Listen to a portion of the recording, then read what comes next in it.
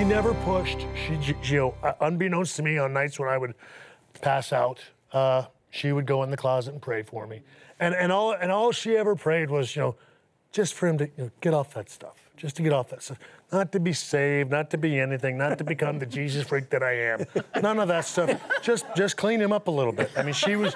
I mean, she even prayed for a low bar. Um, you know, she wasn't. You know, it's like if you, you know, if you could just make him, you know, presentable, it'd be awesome.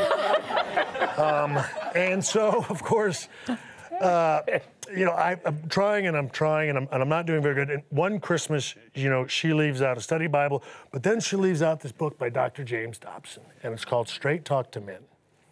And I start reading this thing, and all of a sudden, and, and I, you know, I'm sure you know Dr. Dobson. I've never met the man, and it, he's, if I ever meet him, he's, he's somebody that I always go, I'm not sure if I would just give him a big hug or I'd punch him because I read this thing, and I just, I've never been so you know, nicely and sweetly dressed down. Like, you know, like, he, I mean, he was just letting me know what a, just a horrible human being, what horrible man I was, but saying it in the nicest way. and I, and, and it just, I mean, it, it, it, it just, it cut me and I just thought, my goodness, I've got to, yeah. I've got to try to get a hold of this. and then finally, it was one night, I'm on the couch, and again, I've, I've cut off just about everything. But I've, you know, it's just like, well, it's just Friday nights now. And, you know, my son and I at that time, you know, he's now two years old. So I've, I've missed my nine month bar. I've missed his one year bar. Now he's two years old and I still haven't gotten myself together. Um, cut down, but I'm not where I need to be.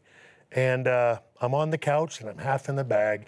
And he and I, you know, at that time, and we still do it now, just different, but it's, uh, you know, a pizza and cookie night and as I'm half in the bag, he's crawling on me, and I hear him, you know, out of his little voice say, Daddy's tired.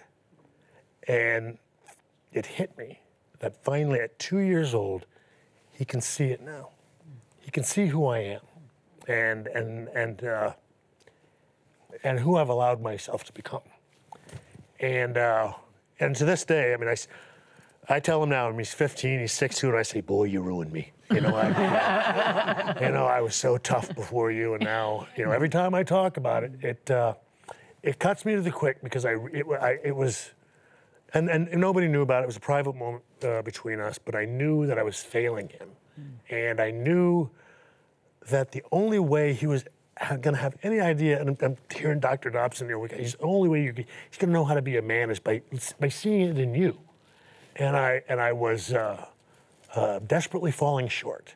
And that was the night that I, I, I did. I, I, you know, I cried out to the Lord, and it's just, please, you know, please. Uh, and it was, I mean, it was, you know, and that's why I ended up writing the book. It was my looking at myself in the mirror and, and having to be honest with myself and say, Mister, you need, you know, you are, you know, it doesn't matter. All that other stuff, all that other man stuff that you did means absolutely nothing if you fail in this area.